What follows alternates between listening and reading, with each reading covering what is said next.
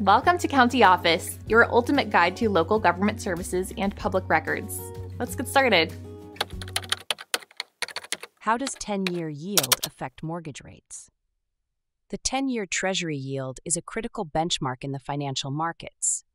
It represents the return investors expect from loaning money to the government for 10 years. Mortgage rates are influenced by various factors, including the 10 year yield.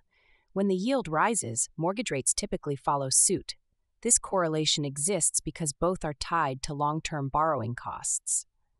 Investors often view the 10 year yield as an indicator of future economic conditions.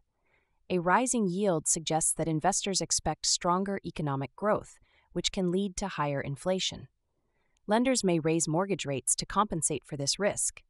Conversely, when the yield falls, mortgage rates tend to decrease as well.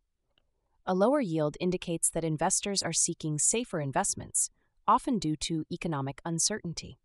This environment allows lenders to offer lower rates on mortgages. The relationship between the 10 year yield and mortgage rates is not always a direct one. Other factors, such as Federal Reserve policy and overall market conditions, also play a significant role.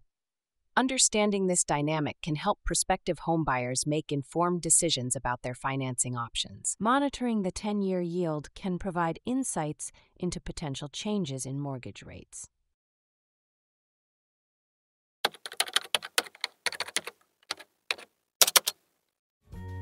To learn more, check out these links, which you can click in the description below. And feel free to comment your questions. We're here to help.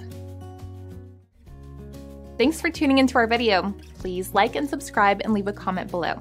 See you in the next video.